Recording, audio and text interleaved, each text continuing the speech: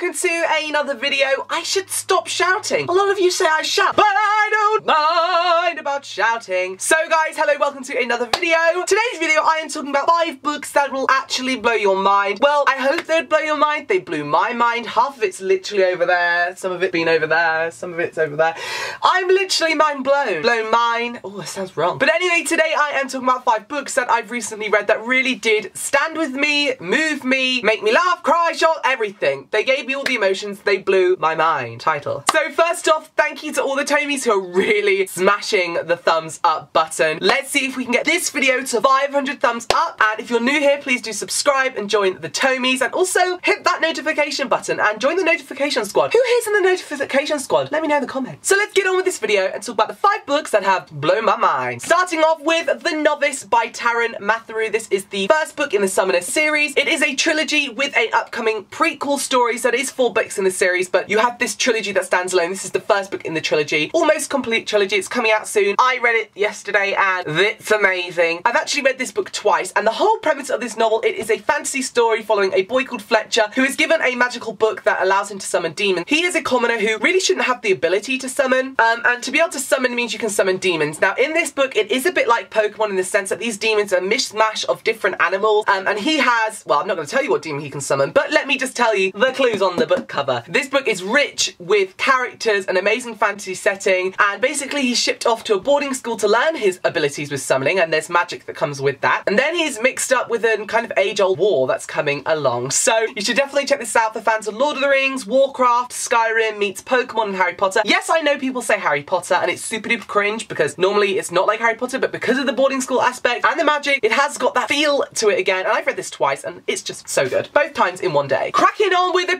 paranormal read, of course, because you know I love witches and I love paranormal reads, and that is Blackheath by Gabriella Lepore. This is the first book in the Blackheath Witches trilogy, the Blackheath Witches series. It's two book series, and they're both out currently. And this follows our character Maggie, who is in this town, and this boy called Joel and his family move, and they're kind of believed to be witches. People kind of joke about it and laugh, but they are actually witches, and there's really unique magic system in this. It's like colour magic, but you've got to read to find out. But basically, Maggie has all this awfully bad luck, awful, awful bad luck, and at this carnival slash fair, this witch tells her that she is under a curse, and she kind of thinks, well, how the hell and what the hell is going on? So she goes to Joel to find out how she break it, and they kind of build this friendship up and this little love story that's going on, as well as the twists and turns to find out what is actually going on with Maggie. You guys should check this book out if you like paranormal witches reads. I mean, I know I love it, and you should check it out. Next, I'm going to be talking about a post-apocalyptic.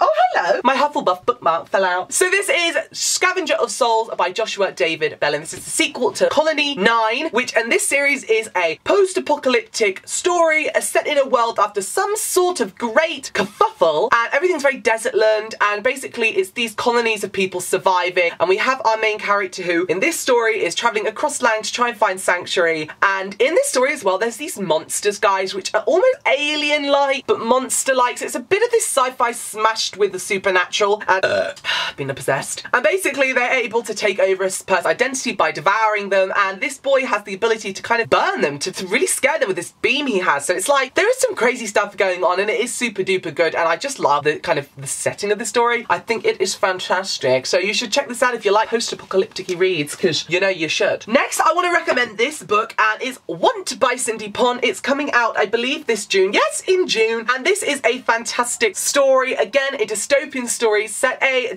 divided society between the wealthy and the poor, and it's all about the production of these suits, and basically the wealthy making the poor poorer by giving them diseases, so they have to buy the things that they're creating, and it's about a group of teens trying to sabotage that. There's murder, there's romance, there's action, and it is so well paced. This novel is fantastic and one of the most interesting reads I've read, and I think the most unique reads I read. Cindy Pon, Want Your Want, uh, this book. And last but not least, I am recommending to you an urban fantasy, because you know, I always talk about fantasy books, and at the end of the day, guys, you always tell me I love fantasy. Shattered Blue by Lauren Bird Horowitz, an urban fantasy story with fae, fairies, all that good stuff. I mean, we all love fae, we all love fairies. I mean, I think I might be one. I've been called a fairy all my life. But yes, Shattered Blue follows a girl who just is really trying to deal with the, the um, what's that word? She's overcoming, she's grieving for her sister. Her sister's recently died, she's grieving. And she's going to school and she's kind of struggling in her life. Her mum's really affected by the death of her sister. And then these this boy turns up at school, they have this really like kick-off relationship. But it turns out that he's Fae and he's been banished from his realm to the human realm because of something like terrible that's happened. And they kind of fall in love, but they shouldn't really be falling in love. But then the Feywild get involved, and she gets involved with Feywild, and then shit goes wrong. This book and the sequel, Renegade Red, destroyed me. Why'd you always leave it on cliffhangers, Lauren? Tell me. Won't you tell me? So there are the five books that I really, really blew my mind. You definitely guys should check it out, really. I mean, if you want your mind blown, not other things, then check this series out. God, I'm so extra. So anyway, I'll leave all the Goodreads links down below. Definitely come and check out my social media. I've got a new Instagram thing going on, so if you want to come and follow this, come and follow this. And apart from that, I'll see you all again for another video very soon. Later!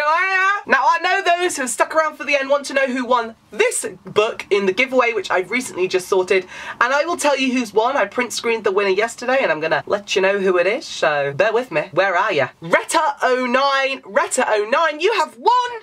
This book, The Shadow Hunters, the Mortal Instruments colouring book, definitely come over to my Twitter and follow me and DM me all your details so I can get this in the post to you and send it to you pretty soon. Thanks so much for watching guys, I'll see you again soon, bye.